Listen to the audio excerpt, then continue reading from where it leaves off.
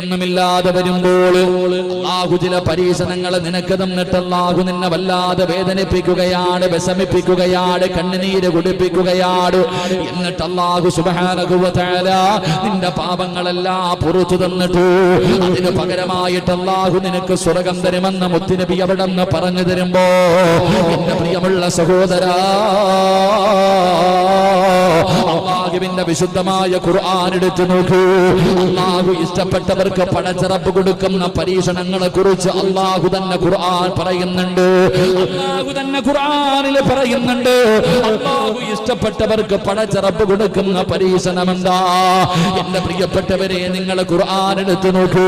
അള്ളാഹു ഇഷ്ടപ്പെട്ടവർക്ക് പടച്ചിറപ്പ് കൊടുക്കുന്ന പരീക്ഷണങ്ങളെ കുറിച്ച് പരിശുദ്ധമായ ഖുർആൻ പറയുമ്പോ ഏത് പരീക്ഷണങ്ങളാണ് അള്ളാഹു തരുന്നത്?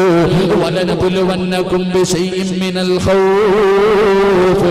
والجوع ونقص من الأموال والأنفس والثمرات. وبشر الصابرين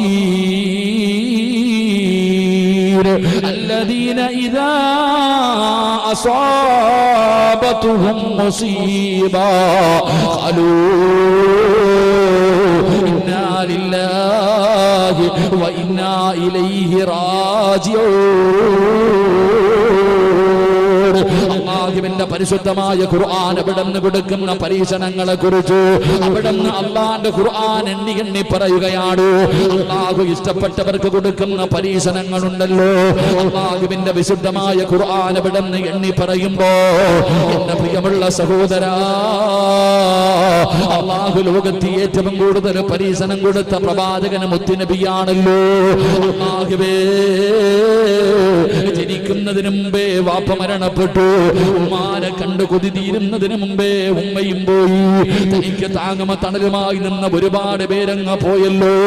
ജീവിതത്തിൽ അള്ളാഹുവിന്റെ പ്രവാചകന് വല്ലാതെ ഒറ്റപ്പെട്ടു പോയല്ലോ. എന്തിന് വെറുപ്പുള്ളത് കൊണ്ടല്ല സ്നേഹം കൂടിയത് കൊണ്ടാ. നിങ്ങൾ ചരിത്രം എടുത്തു നോക്കൂ. ഈ ചരിത്രങ്ങൾ കേട്ട് കഴിയുമ്പോ നമ്മൾ ഇവിടെ ഇരുന്ന് കൊണ്ട് പടച്ചവരോട് പറയുന്നു അൽഹംദുലില്ലാ. എനിക്കൊരു പ്രയാസവുമില്ല തമ്പുരാന്. എനിക്കൊരു പരാതിയുമില്ല അല്ലാ. ഞാൻ എത്രയോ വലിയ ഭാഗ്യവാനാണല്ലോ. എത്രയോ വലിയ ഭാഗ്യവാനാണ്. ഇവിടെ ഇരുന്നു കൊണ്ട് പടച്ചറപ്പിന് നമ്മൾ സ്തുതിക്കുകയാ. അള്ളാഹുവിന്റെ വിശുദ്ധമായ ഖുർആൻ എവിടെ പറയുന്നു? അള്ളാഹു ഇഷ്ടപ്പെട്ടവർക്ക് പടച്ചറപ്പ് കൊടുക്കുന്ന ഒന്നാമത്തെ പരീക്ഷണം വലനബുലുവന്നകും കുമ്പിൽ മിനൽ ഖൗഫ്